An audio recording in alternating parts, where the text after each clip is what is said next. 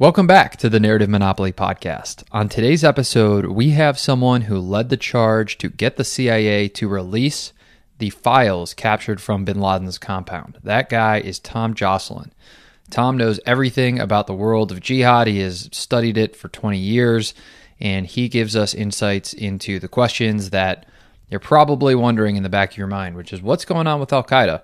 What's going on with the Taliban now that we're pulling out of Afghanistan, what happened to ISIS, and all of those relevant questions. Um, and we even talk about a lot of the specific characters in Al Qaeda and in that world. So this is one that you are not going to want to miss. Um, great primer on these subjects. So without further ado, let's press play.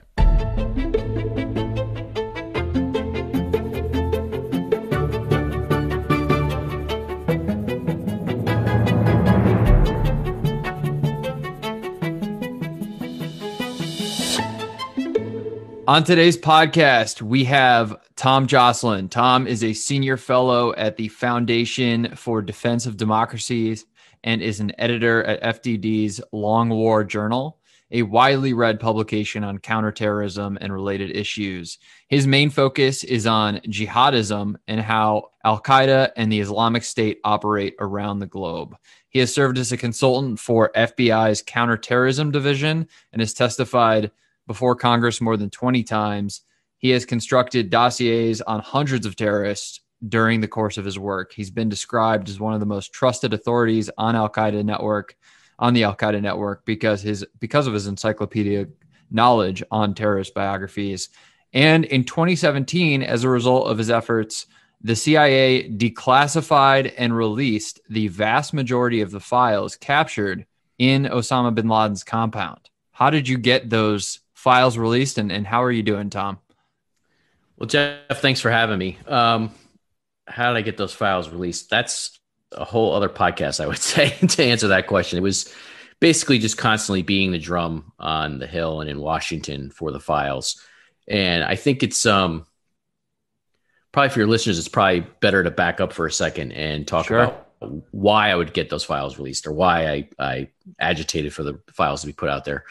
Um, it's one of the strangest things in all this that I've been working on for so many years now is that there still to this day is not a commonly accepted definition of Al Qaeda as an organization, a terrorist organization, and then associated groups.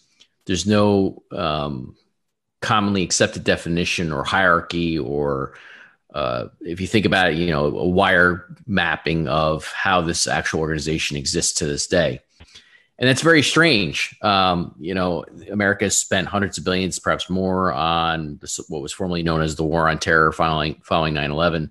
and yet I find to this, you know, this many years later that um, if you go across the U.S. intelligence community or you go across the expert community, there's really no consensus on what this organization is or looks like um, as of 2021.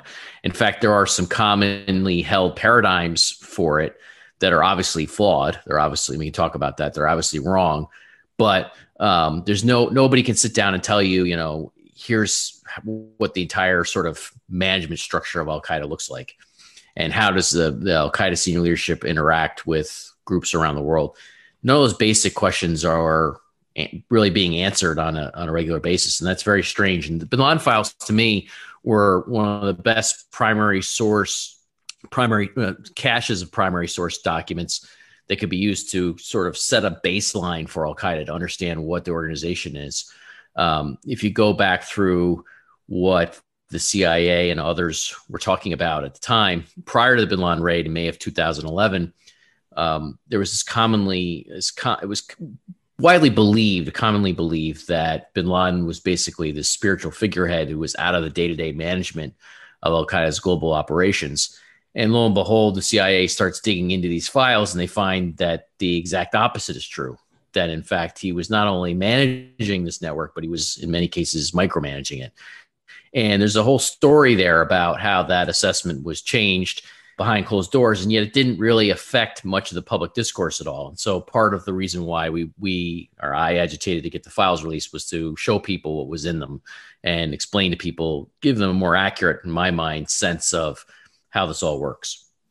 So before we dive into the source material, what was in there from a kind of tactical perspective, I would wonder, you know, why would they even release them to the public? You know, because my thought is, okay, well, doesn't the CIA have analysts and and don't they have the ability or or the kind of the mandate to go through and, and learn from all that stuff and then apply the learnings? Like why why would they give it to a guy like yourself? Well, obviously, it wasn't to give it to a guy like me. Was the the effort was to put it out there for the public for for anybody to access, all researchers to access. And part of the reason for that was that um, there were some competing. There have been competing versions, as I said, competing versions or visions of what Al Qaeda is all along. And my view was, in order to um, better inform that debate, we should have these primary sources available to as many people as possible to inform it. And and what happened was that there were definitely some disagreements behind closed doors within government over the files and how they were handled. Um, and I became privy to that. And I certainly um, talked to people in Congress and on the Hill.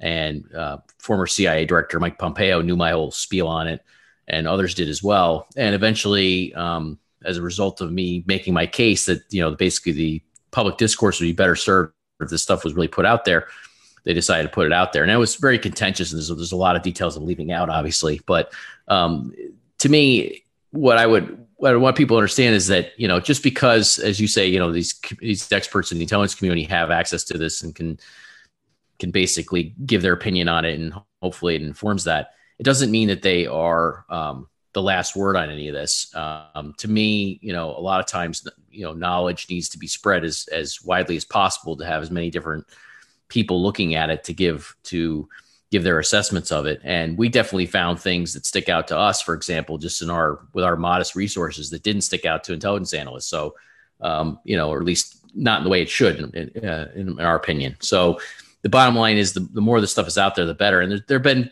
definitely benefits to putting the stuff out there I, I i would agree with that so in terms of bin Laden actually being involved in the day to day operations, what was he working on?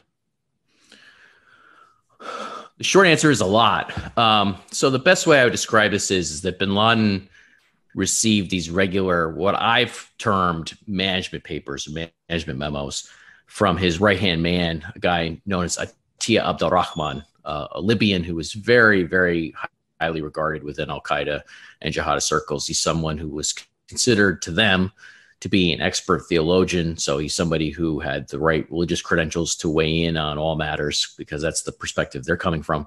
Um, and Rahman really served as this basically aide de camp or general manager for Al Qaeda, overseeing their operations. And he would collect, he act, basically acted as a funnel for all these different Al Qaeda parties around the globe to funnel information through him to bin Laden.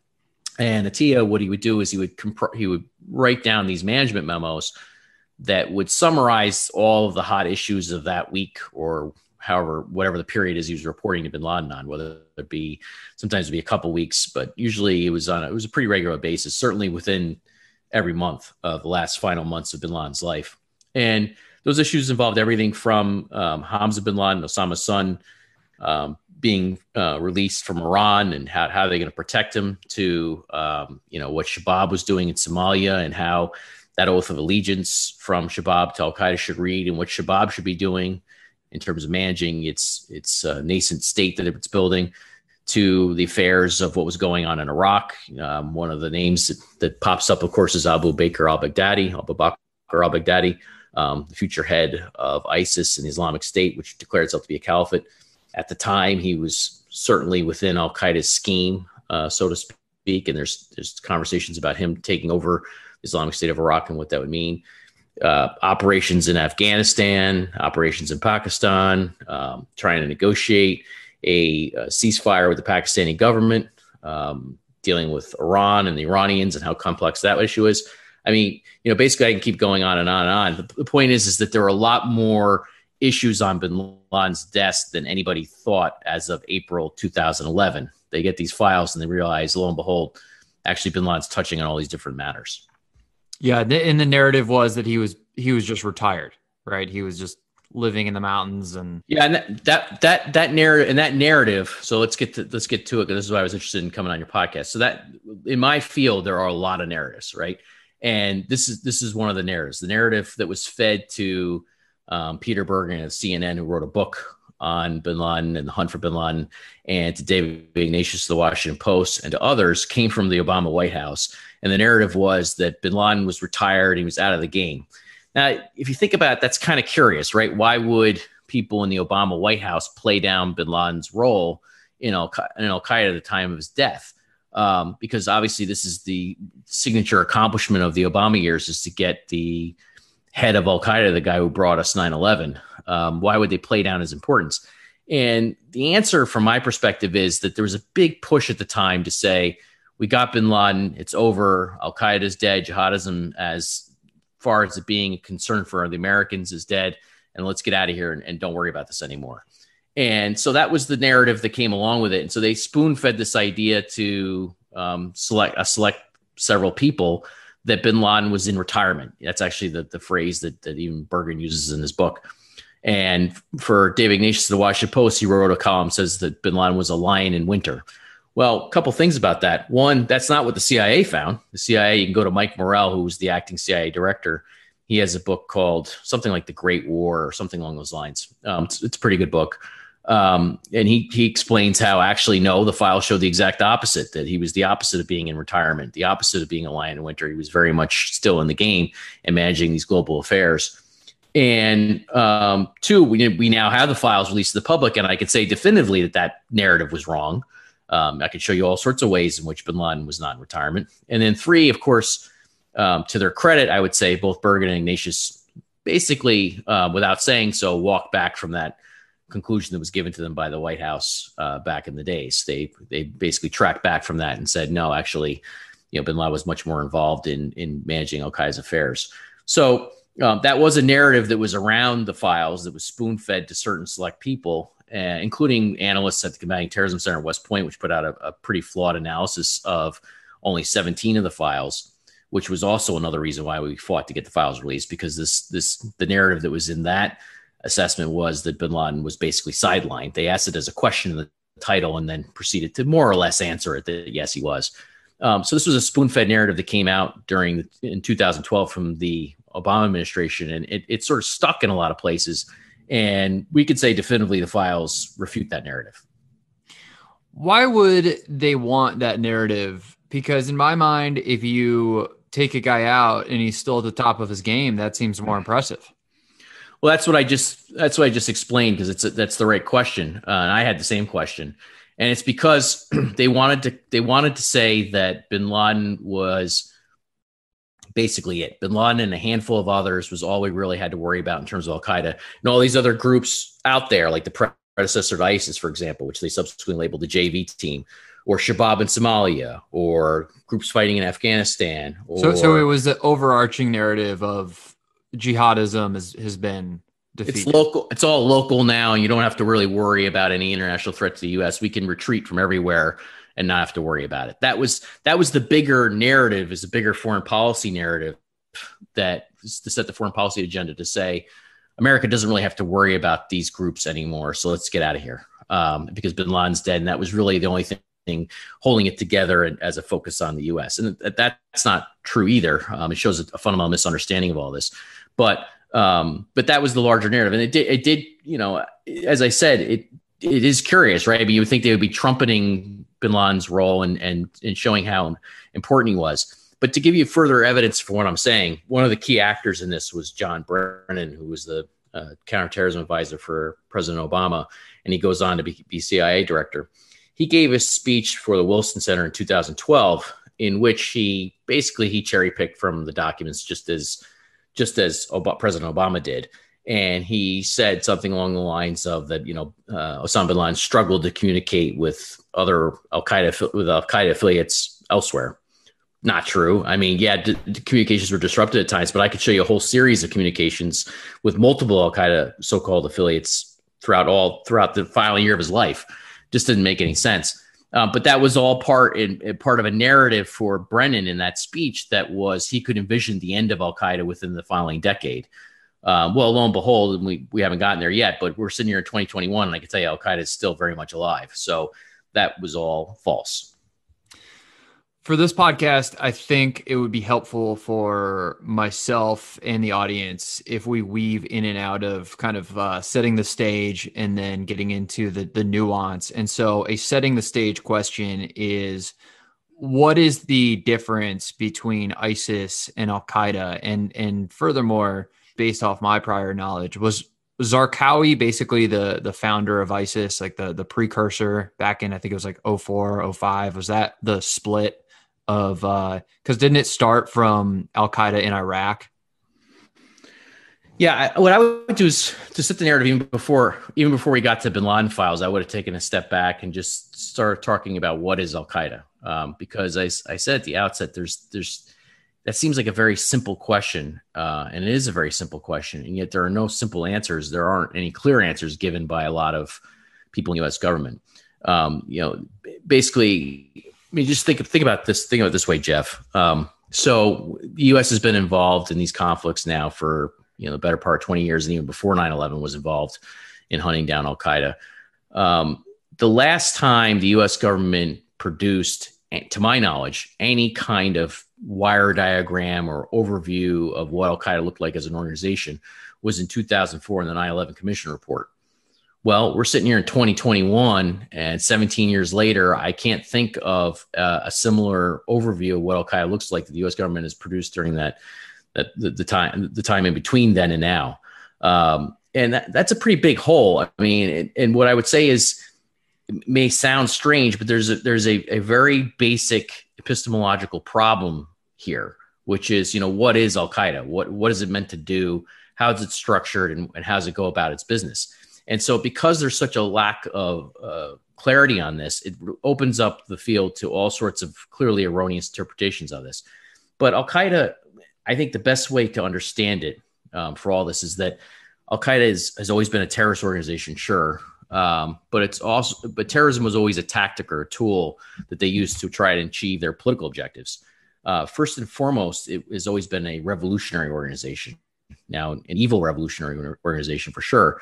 But Bin Laden and his not so merry men looked at the world in the late 1980s and they said, "Boy, there are all these Muslim majority governments that are not ruling according to Sharia or our interpretation of Islamic law."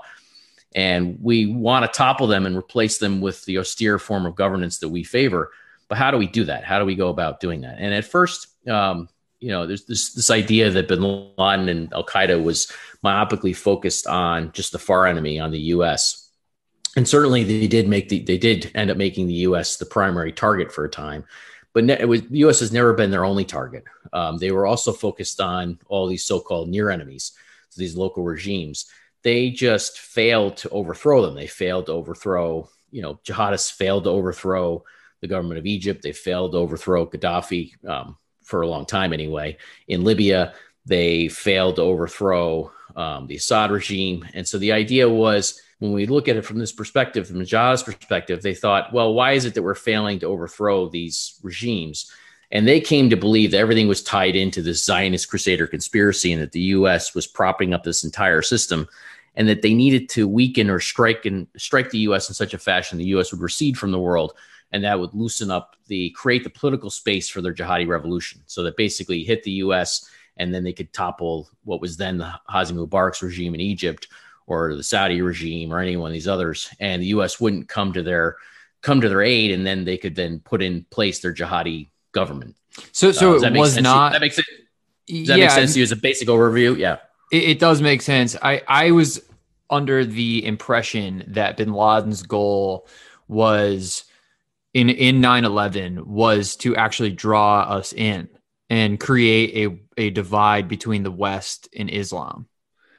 So there were always two competing and contradictory um, reasons given for 9-11 and 9-11 style attacks remember you have the embassy bombings before that you have the uss cole sure. attack you have other plots there are always two competing and contradictory uh, sort of rationales given uh, for that within al-qaeda the first was if we hit them it'll drive them out, just like the Iranians and Hezbollah drove the U.S. out of Lebanon in 1983. So, following the remember the attacks, the simultaneous attacks on the U.S. embassy and the French, the headquarters of the French paratroopers in Lebanon in 1983, the U.S. eventually retreated from Lebanon, and um, basically that was Bin Laden was watching, um, probably then from Pakistan or Afghanistan, and that was a big sign to him that America was a paper tiger, in his words.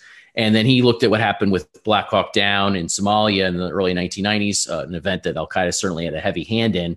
And he saw how the U.S. got out of Somalia after that, and he thought, well, you know, this confirmed his suspicion or his idea that basically if we hit them hard enough, they'll just get out of all these areas, and that will open up the space for us to, for the jihadis to launch their political revolution. So that was the first idea behind it. Um, obviously, that didn't happen.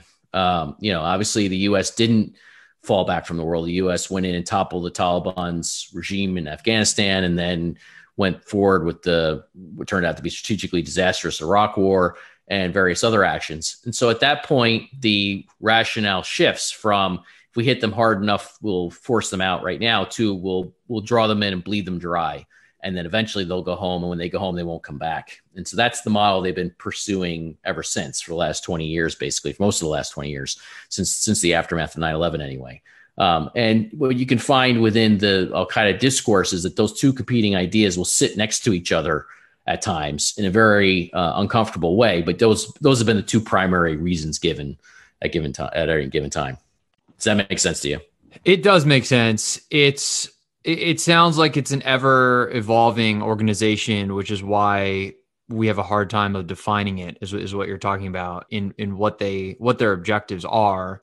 I do want to go back even a little bit further to the origin stories here. So as you know uh you know my my knowledge in this space is basically the reading the looming tower.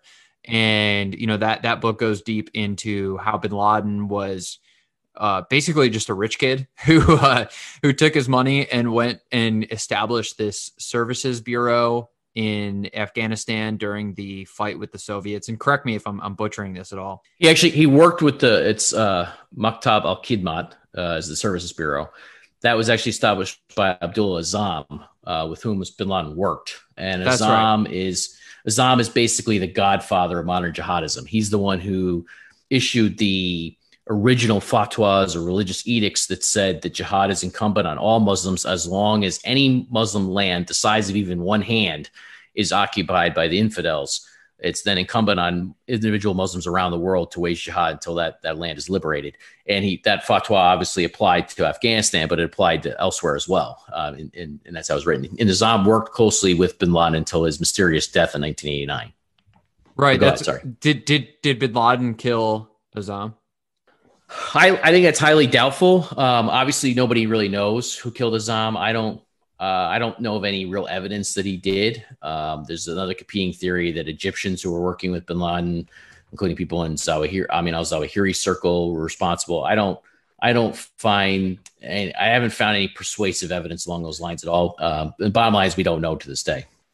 Okay, so Zawahiri, that's that's someone I'm I'm very interested in in hearing about. So back in the 80s, I believe late 80s, they you know Bin Laden and Zawahiri link up, and I guess the story is that Bin Laden is the one funding a lot of this stuff. Maybe he's got the grand dreams, but that Zawahiri is more of an operator. Perhaps he's he's he's more of uh he's he's more studied in the religious text. Is that all correct? How does Zawahiri enter the picture and, and team up with Bin Laden? You know, I mean, that's certainly the, the impression you get from some of Lawrence Wright's writings is that Zawahiri is the man behind bin Laden. And I just would always be careful with these types of dichotomies in terms of how we describe these guys. I mean, they, the way I look at it is they had a partnership and, you know, neither one of them um, was, uh, you know, neither one of them only had a few talents. They both had multiple talents that they brought to this terror, this partnership in terror. And Zawahiri certainly – is a highly intellectual jihadi. He's somebody who has a, clearly an above average IQ. Um, he was a doctor, obviously, in Egypt. He comes from uh, a very affluent family in Egypt. He chose the jihadi path. Um, he's somebody who, to my mind, is actually the most underestimated jihadi of all time. Um, he, in all likelihood, although we can't say for certain, in all likelihood, he's still alive somewhere in the Afghanistan Pakistan region. And if you think about that, and this is what I always say to to anybody when I talk about this is imagine if you were hunted by the world's lone, what was, well, America was a superpower, I would say, for part of the period after 9 11. I doubt that it is now, uh, but hunted by America and other powers for decades at a time, could you survive on the lam? This guy has. Um, I know I couldn't. I don't think I could at all. I don't think that would be possible, but he has. And he still has thousands of jihadis who are loyal to him around the globe, despite all the management problems he has overseen or, or had to deal with. Um, but he was he was always a close partner of Bin Laden, going back to the late 1980s, as you said. Um, he's somebody who certainly left his imprint on what we know as Al Qaeda from really from the first days of the organization. So we don't know if he's still alive. Uh, I, I, assume that that means that we don't know if he's still active. Well, I'd, I'd, I'd, I'd be very careful. So when I when I say I would say we don't know that he's dead. I don't see any real evidence that he's dead. Um, you know, I see some very specious reports on Twitter from sources I don't trust saying that, and then uh, I don't think that's accurate. I do know, for example, that there are indications that he's been active. Um, for example, I mean, they're not recent within the last couple months, but then again, this is a clandestine organization. We're not going to know much about its inner workings. But I'll give you one example from not so distant past. In 2019, September 2019, um, the U.S. and its Afghan allies killed a courier who was running messages back and forth between the head of Al Qaeda in the Indian subcontinent, which is the Al Qaeda group, principally responsible for fighting in Afghanistan on behalf of the organization, between the head of that group, who was Asim Omar, who was killed in the raid, and Zawahiri. Um, and so we know there's been traffic going back and forth to Zawahiri. I've seen reports of it since then. I've seen reports of it as, as uh, into 2020 that, in fact, Zawahiri was even consulting with the Taliban uh, including the Haqqanis, or another organization that's very interesting. We could do a whole other series of podcasts on them if we wanted to. Uh, uh, about the, the so-called peace talks between the U.S. and the Taliban. Zawahiri was talking to various Taliban figures about that. So there are indications he's been active, at least you know at different points in 2020. This rumor came about late 2020 that he was dead, but I don't see any. I don't. I have not seen any evidence to justify that rumor. I would say. My naked guess on why we have not been able to go out and kill him, whether that is the will or the ability, um, or both, is that the way that policy in practice actually gets implemented is based off of narratives. And that's how the public understands the world. And America loves thinking about organizations with, you know, the, the, uh, the, oh i'm blanking on the term now. The, the the great man. That's what it is. The great man right? So companies are built by great man. You have the, the president acting alone. And so my thought here is that perhaps all of our will or ability was all focused on bin laden and going back into that narrative um, because i don't think the public really knows who zawahiri is. I, I don't think a, a majority of the public knows. So why would we waste resources if you're a politician to say, hey, we got this guy that may or may not be active and nobody really knows who he is? Is, is there any truth to that? Am I in the right direction? There's some truth to that. What I would say is this I think I totally agree with the latter point. I don't think the public at large knows who Zawahiri is. And then a lot of the people who are actually experts on this matter, subject matter, will poo poo him uh, immediately. And I think wrongly. I think for a lot of reasons wrongly. Um, you know, it's obvious from the Bin Laden files, which you asked about earlier, that Zawahiri was very much weighing in on all sorts of decisions and guiding people as far away as West Africa uh, within the Al Qaeda network. This is somebody who has always had an immense cadre behind him. Uh, it's not it's not the case that he is um, some spent force who never had any any pull within the jihadi uh, movement or, within Al Qaeda. He always did. Um, and, and there, there was you asked too about the rise of ISIS. We'll get back to that, I'm sure, in a second. But um, certainly, the rise of ISIS caused a lot of problems for him. But as part of that rise of ISIS, one of the things that was interesting is you, that the Al Qaeda loyalists, uh, some of them came out of the woodwork, and you could see just how much influence Al Qaeda, uh, I'm sorry, Zawahiri had over them in Syria or Yemen or different places in Africa. So, um, you know, this is a guy who has been underestimated, I would say, by a lot of people. That's probably played into it. I think I wouldn't say that he that America hasn't put any resources into trying to kill him. They certainly have. The the CIA and others have. If you remember, in 2009, there was the um, suicide bombing at Camp Chapman in Afghanistan.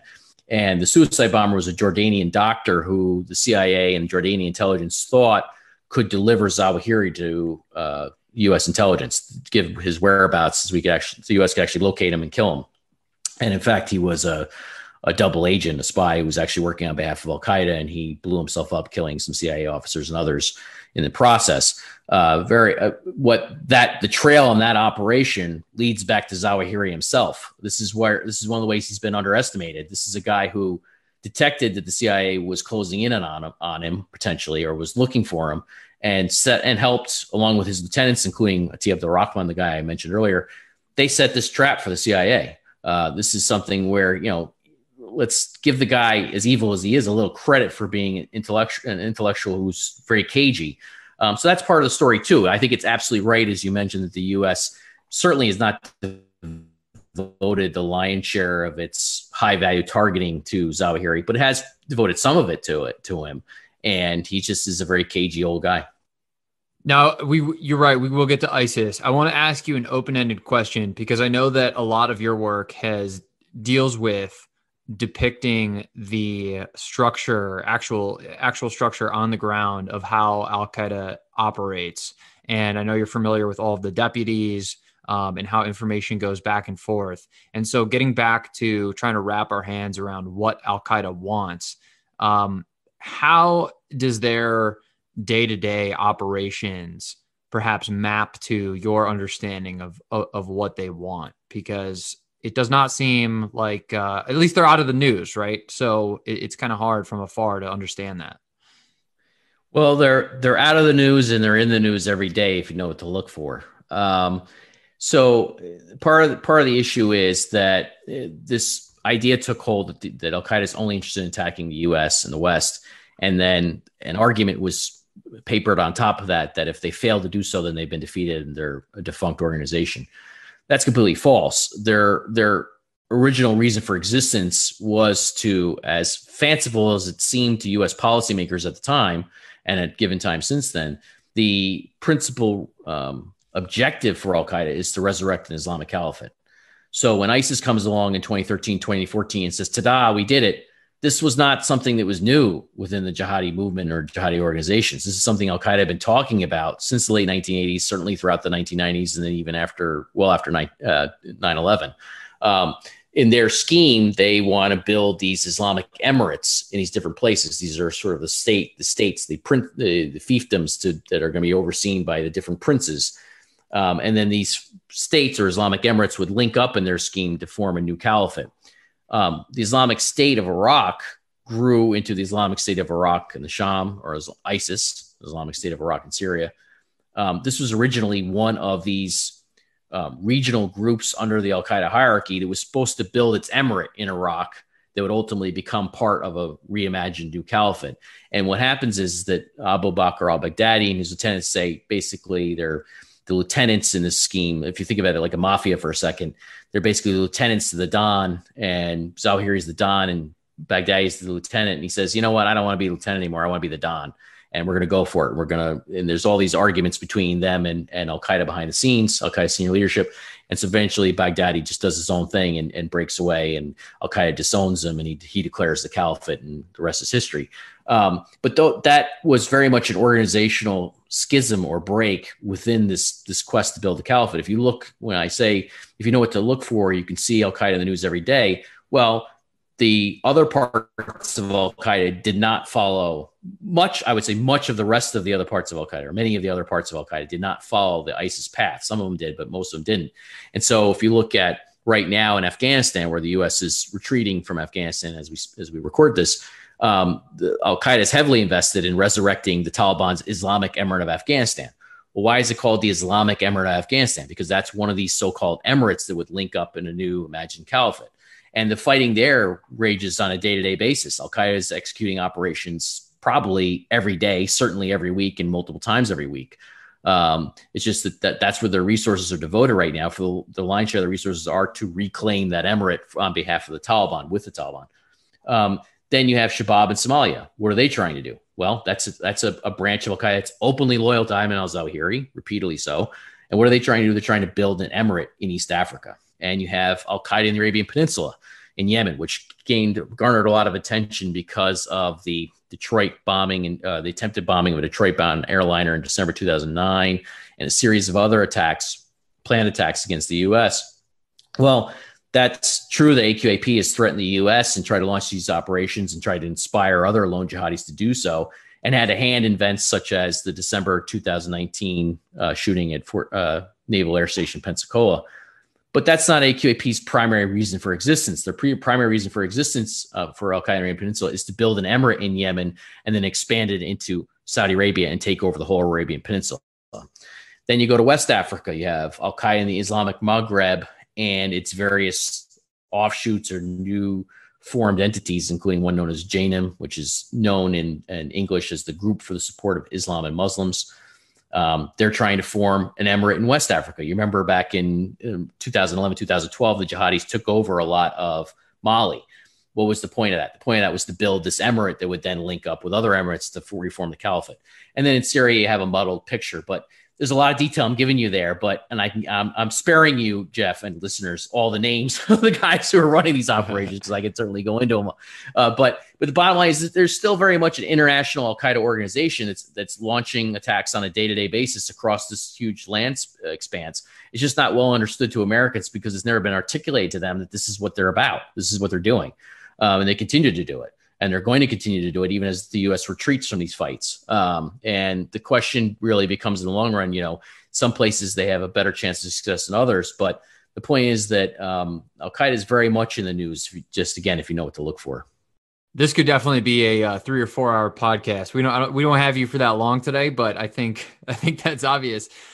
I well, you walked into a problem here. I've had three cups of coffee, and I'm a fast talking New Yorker as it is, and so I'm a well caffeinated fast talking New Yorker. So that's a big problem. But well, it's it's, it's and, been... and, I'm a nerd, and I'm a nerd, and I, that's all I do is study this stuff. So you know, that's that's the problem. well, it's it's been reported on this podcast that the audience of the podcast is also highly caffeinated. So there's a there's a match there. Don't worry about it. Uh, the the we'll, we'll get into I, I really want to get into what's going on in Afghanistan with the pullout. Now, I, I don't know how you feel about military involvement uh, of the United States uh, across the world. What would you say to the argument of let's just let these guys have it out over there?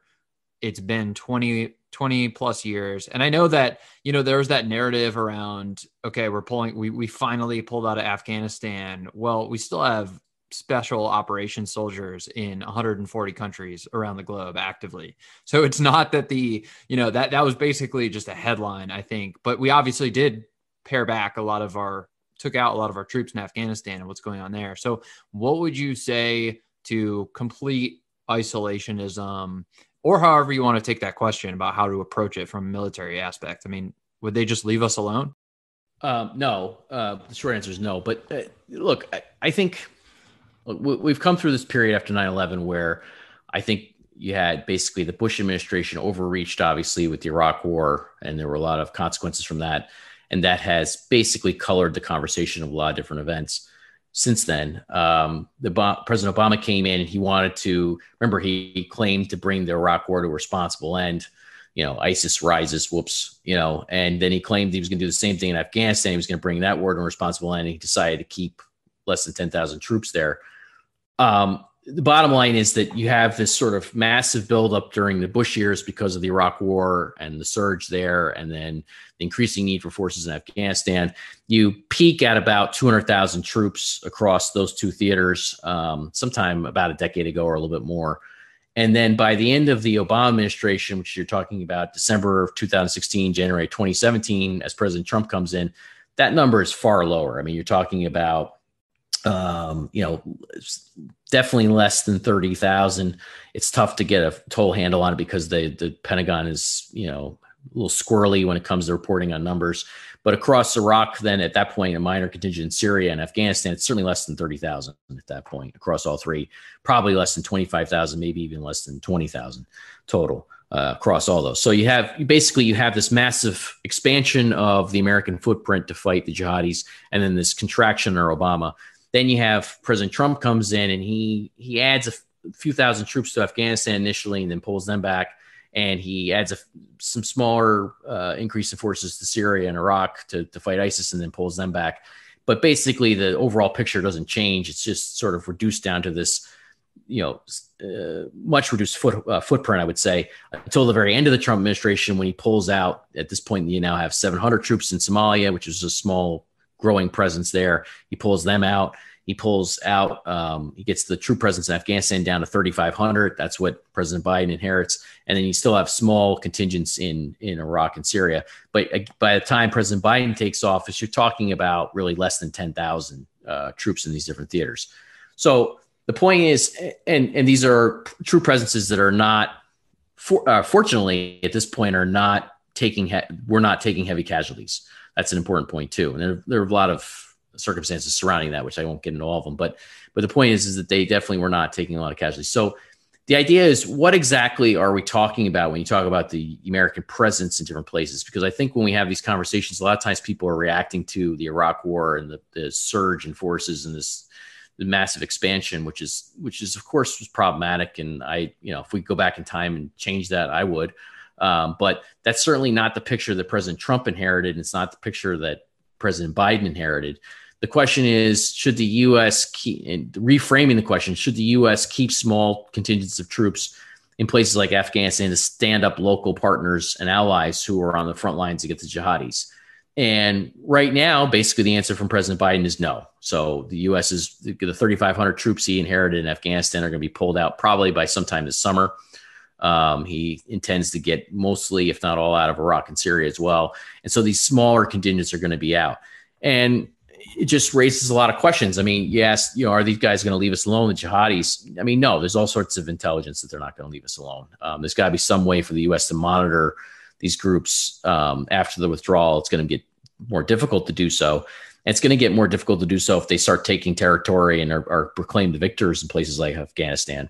We saw what the victory message did for ISIS. It drove it, it, it, it uh, drew in tens of thousands of volunteers from around the globe I think you can you could easily see a similar dynamic in some of these places like Afghanistan going forward.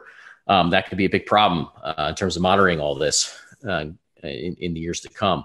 But the question is, you know, to my mind, I can articulate the counterterrorism rationale for keeping these troops in place and a small contingents in place and keep fighting in these areas and standing up local forces. But on the flip side, I can tell you, and this is where I get I get where people I think their ears perk up. I think there's just been such a massive leadership failure here that pe- that the military leadership, the political leadership of this country, the U.S. can't explain any of this to anybody at this point in any reasonable way. And so it's very tough, given those circumstances, for me to support any any sort of ongoing presence in any of these countries. I would say.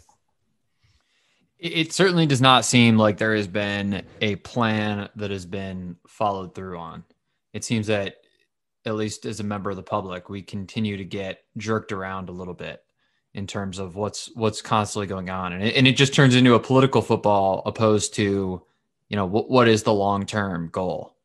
What are your thoughts on on keeping a the the presence of special operations in, in these countries? Which you know we could go into, you know, is that authorized by Congress or not? But th- it is happening, so is that kind of the silent failsafe that that the U.S. is implementing right now?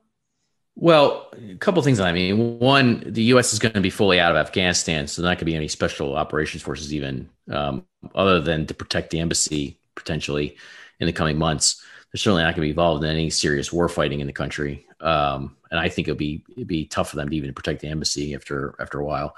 Um, but you know, but let's let's explore the question you asked about the you know congressional authorization a little bit because I'm I'm very much in the camp that this stuff shouldn't be on autopilot. That there should be congressional authorization for the use of force, and that yep. the, there needs to be, there needs to be that level of oversight. And Congress has basically punted on these issues and hasn't done its constitutional duty in authorizing this. I mean, it's it's what I've said. People have a hard time understanding this like when i talk about these groups because they think well you, you just want to justify keeping the us in these places. I'm like if you actually knew everything i knew you wouldn't want you wouldn't be saying that you know uh, at, at, all you know? Uh, but but the point is like you know, i'll give you an example jeff on, on what you're talking about. So um, take take shabab in somalia. I teased the 700 troops that were in somalia let's talk about that for a second it's absolutely the case that Shabab is part of Al Qaeda. Okay. Anybody who tells you it isn't is just full of it. It just is. There's just a huge encyclopedia of information at this point about what Shabab is. It's definitely part of Al Qaeda's stratagem, part of its scheme for what it's trying to do. Um, but there really hasn't been any conversation or direct congressional authorization for the use of force in Somalia um, outside of the 2001 AUMF, which was, I mean, I'm, I'm probably going to get tangled up here. Maybe the lawyers out there are going to say, well, no, there's some other provision that, you know, that the U.S. was able to act under. Fine. But the point is that there was never any real discussion about what should the U.S. be doing with special forces in Somalia. It never was, it never was a case where there was a debate on the House floor, let's say, on a resolution to whether or not the U.S. should have a small presence in Somalia to combat Shabab, which is Al Qaeda's presence there.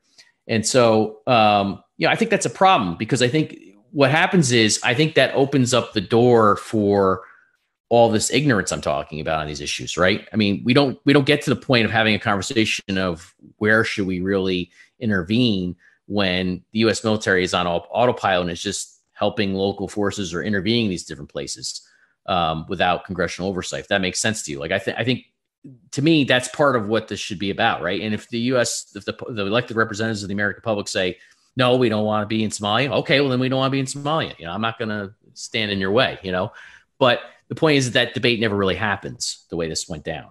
If that makes sense.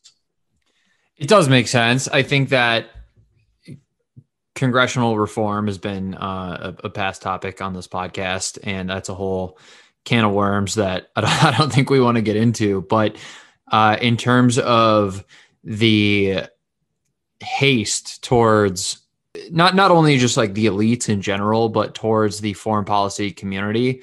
It sounds like you're saying that a lot of that comes from the fact that the public is not cued in on on this stuff, and it's not even you know they they find out that somebody dies, and it's like oh well I didn't even know we had people in, in Somalia, and that is the troops. In, the, the, troops in Niger. The, the, troops in Niger are a great example of that, killed by ISIS. Right? You know, we had several troops killed a couple years back in Niger, you know, hunting ISIS, and nobody even knew they were there doing that. Uh, very few people did. Um, and look, I mean, this is this is the way I look at this stuff. Is is um, and by the way, so here, here's what's interesting about all this, and why there's all these twists and turns to all this stuff. One of the th- one of the expressions I've coined is the disconnect the dots crowd. So a lot of the, just as I said, there's no analytic agreement on what Al Qaeda is, for example. One of the main reasons for that is because if in the way a lot of analysts or experts think, and I've debated these people, is if you say that Al Qaeda in the Islamic Maghreb, the Islamic Maghreb is Al Qaeda, right? Then the U.S. is going to intervene militarily there. So then they create all these arguments to justify their tortuous interpretation of an Al Qaeda group not being Al Qaeda. I mean, it's just logically absurd, right? My view has always been different, right? Um, I think it's obvious that Al Qaeda in Islamic Maghreb, which is headquartered in West Africa now, is part of Al Qaeda. I can give you all sorts of nerdy details if you want to dispute me on that, right? And I can debate you on that all day. Um, but it clearly is. It's why it's called Al Qaeda, right? Um, but that doesn't mean I want the Marines to go into Mali, right? I mean, you have to be able to bifurcate your analysis of what what these groups are and what the jihadi threat is versus what you think should be done about it. And the problem is that this is all messed up. Like, you know, because you have the US military on autopilot, so a lot of times they don't even really understand – the groups that they're helping to intervene against. They, I'm believe me, that's absolutely true in Afghanistan. After all these years, you can. You, there's a lot of confusion about what who they're even fighting in Afghanistan. Um, you have U.S. military sort of on autopilot on these issues. Then you have this expert or analytical cadre, which is saying, no, none of these groups are really part of Al Qaeda or pose a threat, and so the U.S. shouldn't be fighting any of them. And then, you know, I think I don't want to play the, the game of the truth is somewhere in between, but the, probably the truth is somewhere in between. You know, the U.S. should have some ability to counter, you know, the the worst of the terrorist threats coming our way. Um, that certainly would have helped against ISIS, for example, when it was rising. But this a more nuanced debate about all this, a more you know uh, uh, limited framework for understanding this stuff is is sort of out of our grasp at this point because it's all or nothing. It's all either you know either the U.S. is involved in an endless war, in Afghanistan, or you know we're getting right. out of everywhere. And that's the narrative. Right. Uh, let me throw you a curveball for a second and give you a total hypothetical. If we would have got bin Laden at Tora Bora, how much different would the country and, and world affairs look like? Well, it's something I don't know if you saw my my tweets on this or if you heard me talk about this before, but I, I've posed this hypothetical myself because I, you know, I run a website called the Long War Journal, and that's not because I'm I've ever pined for this to be a long war, right? I, I, I would have very much preferred all this to be a short war. We could, could not think about. It. I mean, 2001, I was an economist, and I could have very much stayed in finance or economics and not done any of this. Uh, I probably would have preferred, quite frankly, to have done so. Uh, but the the thing is, is that if the U.S. had gotten bin Laden and Zawahiri and really the Al Qaeda senior leadership annihilated most of them in 2001, I think the picture probably would have been very different. Um, I think it mattered that the U.S. didn't get him, uh, didn't get these guys, the, the main guys in 2001. And what I would say by the time the U.S. finally did catch up with bin Laden in 2011, the picture was very different. Um, you know, bin Laden was a jihadi revolutionary. He wanted to spark his revolution.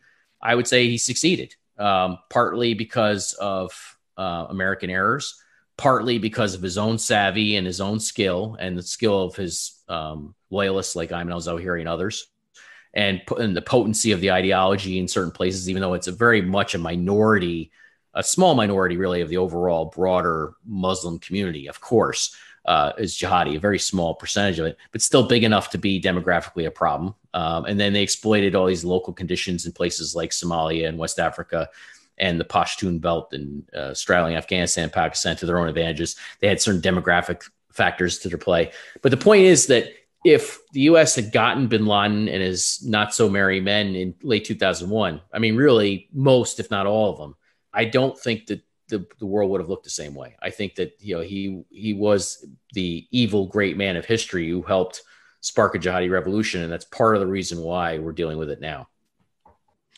That one stings to be honest. That that that one stings to think about.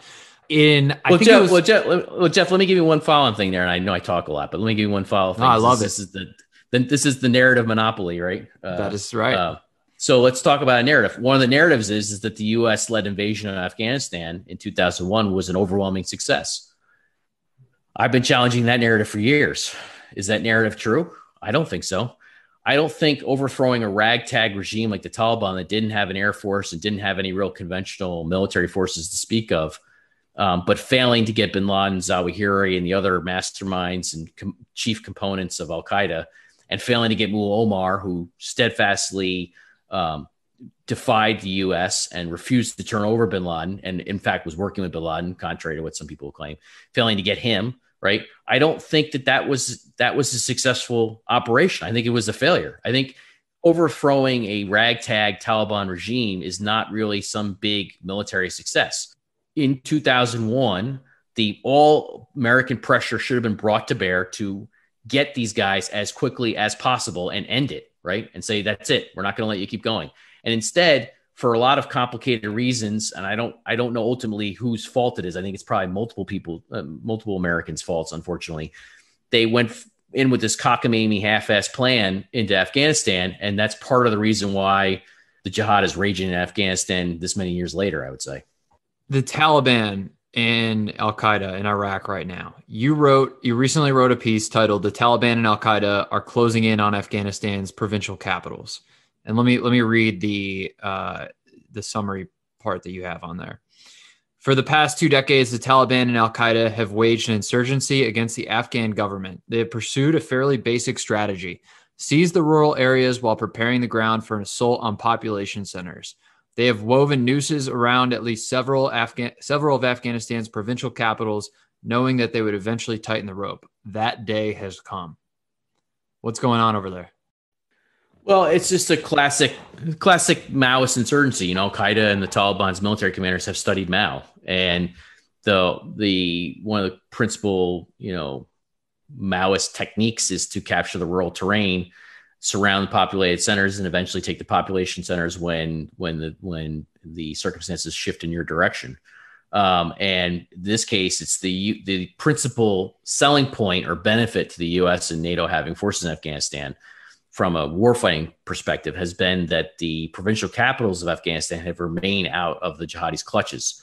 As the US and NATO now withdraws and is their presence is coming to an end, the Taliban is and Al Qaeda have decided that they can start to expend the man, manpower that's necessary to take and hold these provincial capitals. So they've they've been testing this for a while now. We've we were we were documenting this as far back as 2015. What they do is they, in some cases they would go in and, and capture provincial capital, but they wouldn't expend the manpower to hold it because they knew that the U.S. with its superior special operations capability and air power could come in and save the day and, and keep the, the capital from falling. But now these capitals without that capacity in Afghanistan, now it's the time has come for the Taliban to to launch. It's quickly quickly approaching that they're going to launch their full fledged offensive. We haven't seen the full thing yet. We're going they're just priming the pump. They're getting ready for it, and they want to overthrow these provincial capitals because that's the, the, the first key to taking back all of Afghanistan and resurrecting an Islamic Emirate. And so you have the potential now of sometime in the next year or so of seeing hundreds of thousands of people fall under, perhaps even more, perhaps even millions fall under Taliban Al Qaeda rule, which means that they will then be subjected to the Islamic law as the as they see it. Um, now, of course, as I also write in the piece, life in these provincial capitals is, is far from idyllic. This is not, you know, some. I'm not painting some rosy scenario of Afghanistan, but certainly, I would say for the Afghan civilians, for many of them, they would certainly prefer to be under this um, makeshift, problematic, corrupt government than they would be under the Taliban, Al Qaeda. But unfortunately, the, uh, the Taliban jihadi governance is coming. With the quote unquote peace talks, I mean, did we basically just take the L? Take the L is a good way of putting it. Yeah, this, this was a see. The thing is, as I, I actually argued with these the people who were behind this at the time, I said, look, if the time has come to get out of Afghanistan, just get out of Afghanistan. You don't have to capitulate to the Taliban. You don't have to surrender to the Taliban and grant them all sorts of concessions. Unfortunately, um, the Trump administration, instead of just getting out of Afghanistan, took this approach. The peace talks have always been a farce. There's, there's, there, there are no peace talks. This is all a Washington construct. The Taliban just showed up in Doha and said, you know, we're here for our concessions. Thanks for showing up. And the U.S. gave them a number of concessions, and then the Taliban went right back to its war fighting, uh, never stopped, launched offensives. What they said was basically the only thing the U.S. got out of this was the Taliban said, all right, we'll let you guys retreat without attacking Americans, um, you know, as we can. And so we'll let you we'll let you retreat out of here. That's it. You didn't really need to have this this uh, phony pretense of peace talks to achieve that. You could have re- reached a deal that was that simple with the Taliban to say, look, either you let us retreat, um, and or you're going to force us to bomb you as we retreat. And basically, I think the Taliban would have given us the deal and just said, you know, get out. But instead, they uh, really the State Department built this entire house of cards, which is all nonsense about you know how the Taliban portraying the Taliban as an actor that was actually interested in peace and a political reconciliation, and that was willing to break with Al Qaeda. And absolutely none of that was true. None of it.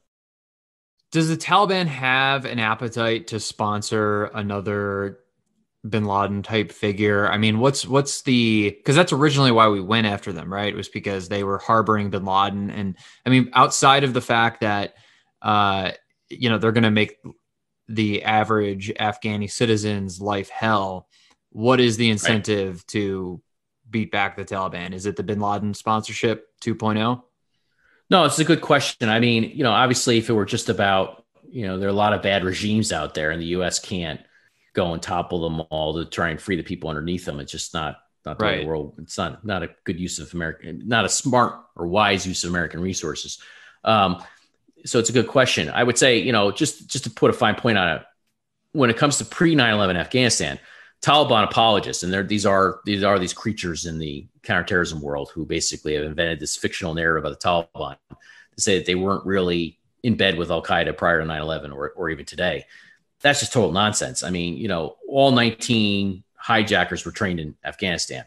Yeah, it's true they came from different places and they went to different places afterwards, but that plot came together in Afghanistan. It would not have come together without the safe haven that bin Laden and Al Qaeda had in safe in Afghanistan. It allowed to operate training camps, it allowed them to indoctrinate, recruit, and identify talent for a 9/11 style operation. If you remember in 1996, bin Laden is ejected from the Sudan. He doesn't have a place to go until he gets a welcoming party in Afghanistan, and the Taliban absolutely welcomes them. You can see it in the 9 11 Commission report. And Mullah Omar refuses to break with bin Laden or give him up. And in fact, there's some evidence he even approved at some cases of what bin Laden was doing. And you could see in, in Mullah Omar's own rhetoric in a Voice of America interview he gives in 2001, September 2001, after 9 11, he basically is repeating all the Al Qaeda talking points about that and other attacks. So there's just a wealth of evidence about the integration of, of Al Qaeda into the Taliban's operations in Afghanistan prior to 9 11. The story has evolved, but it's very much remains the same case to this day. The difference now is that Al Qaeda doesn't need Afghanistan to train all 19 hijackers like they did prior to 9 11 because they can train them anywhere. Uh, not anywhere, but in several countries now. And so now the, the threat it has definitely is definitely distributed. The issue for me is that um, yes, I think the threat of global terrorism goes up as as the jihadis make gains in Afghanistan, but it's not as simple as saying um, we need to stay there to prevent another 9-11 because they could they could try something big in the west and probably not 9-11 style attack but something similar. They could try something big in the west again but use other countries as staging grounds for them. Uh, you know for example somalia where shabab is or yemen where aqp is or syria or west africa. There's all sorts of places they could could conceivably launch something from um, or all of them in fact. Uh, you know they could have parts of it come from these different places the issue is that if you think about what the rise of ISIS did to the global jihadi movement, it was a huge shot in the arm. It created all these secondary and tertiary problems for the West, for the Europe and U.S. in terms of monitoring counterterrorism threat, monitoring terrorism threats, and having the counterterrorism services keep on top of it.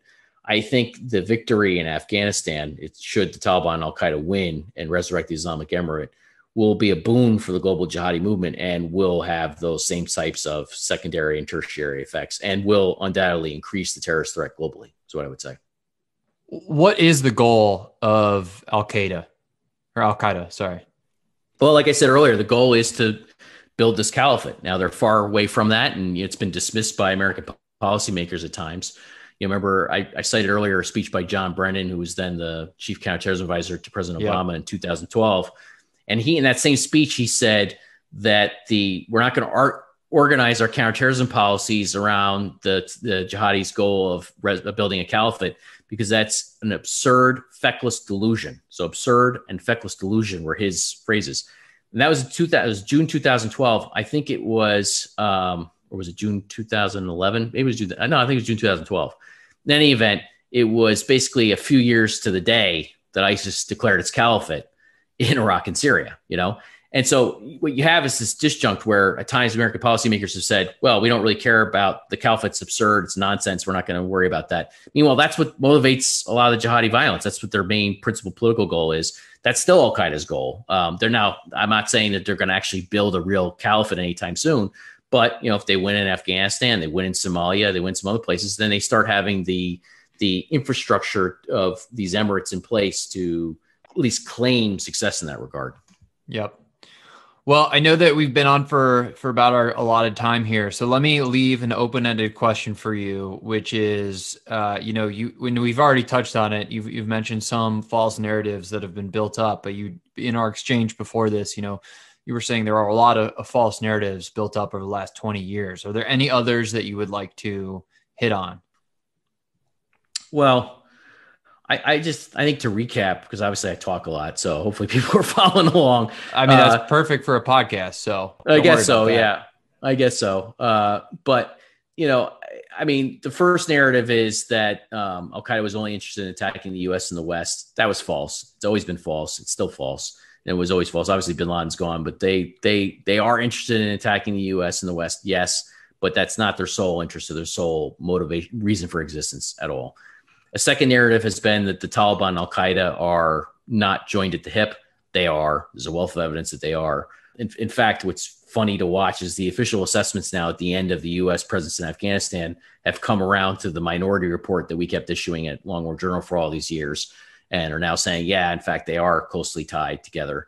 Yeah, I wish the U.S. had gotten that right a lot sooner because there was a lot, a lot of things could have been done differently, but didn't. Now, now at the end, and I think another narrative is that um, the U.S. just needs to focus on great power competition when it comes to Russia and China and forget about all this. Um, I think that, yeah, I, as I said earlier, I think the bulk of our resources as Americans have already been shifted away from the post 9 11 conflicts. I think it makes sense to shift most of the resources away. Um, I think it makes sense to worry about China. I've written a lot about China recently myself because it's something I was tracking for six years before I started writing about it. I think that is that is a different scale of threat to American American interests for sure. But it's not it's not the case that the America can shift entirely away from the post 9/11 conflicts and wash its hands of all this and think it's going to be fine. Because I just don't think that's the case.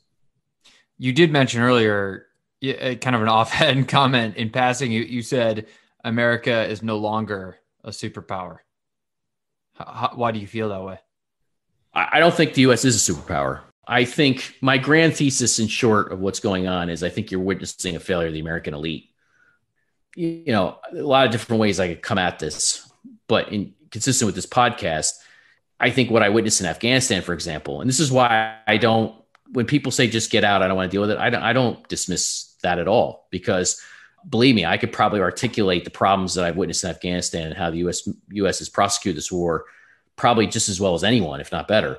There's been a lot of elite failures in Afghanistan from the Americans, uh, just unwillingness to see the world as it is and get it right, unwillingness to tell the truth.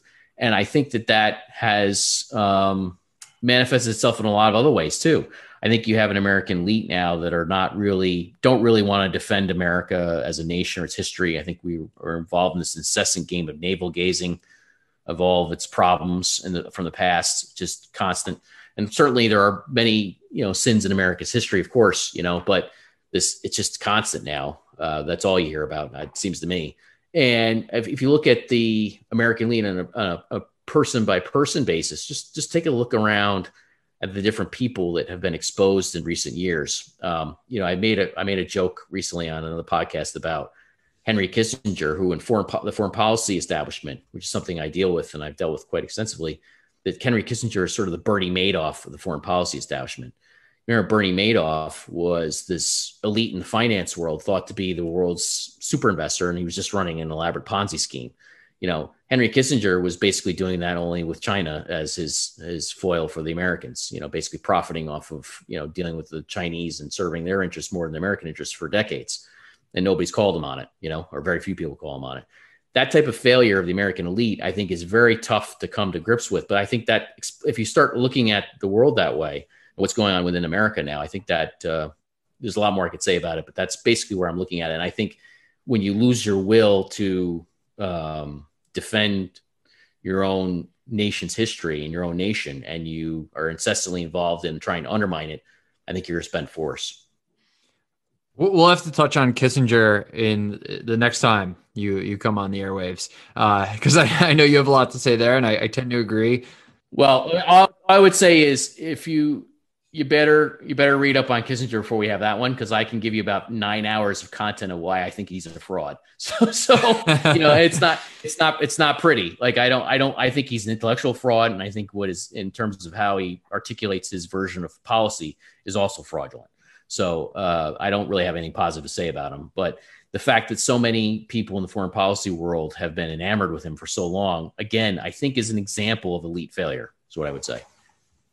That, that's fair. You you have a book uh, behind you that is uh, Ulysses S. Grant. It's a Chernow book, and uh, that's one of my favorites. And uh, I think that we are desperately in need of a, a, grant right now. I don't think that we've seen one for a long time.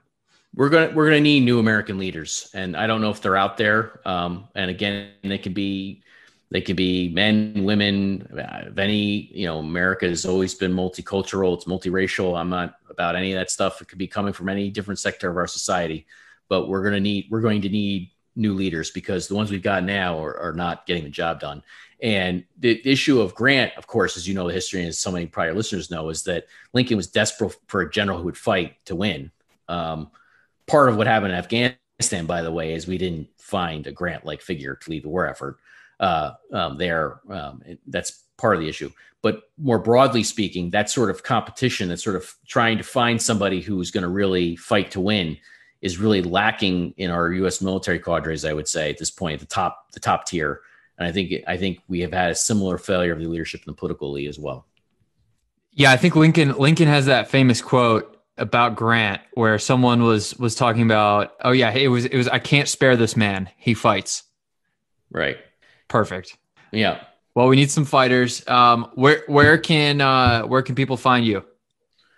Well, I uh, tweet very sporadically at my own handle on Twitter. I have very distrustful social media, so that's why I do that. Um, but I also write a lot at the Dispatch for it's a new newish publication. Um, you know, basically formed by uh, people in exile during the Trump years, I would say. Uh, you know, and also I write a lot at FDD's Long War Journal, uh, which is where I do a lot of my coverage. And we have a podcast there as well called Generation Jihad, which uh, if you're not sick of listening to me by now, you can tune in. You can tune in there as well. All right. Well, I will link to those in the show notes. And thanks for coming on, Tom. Thanks, Jeff. Appreciate it. And there you have it. I hope you enjoyed that podcast. Please leave a five star written review on Apple Podcasts if you're listening there, and give us a follow or subscribe on whatever you're listening to. And we will see you next week.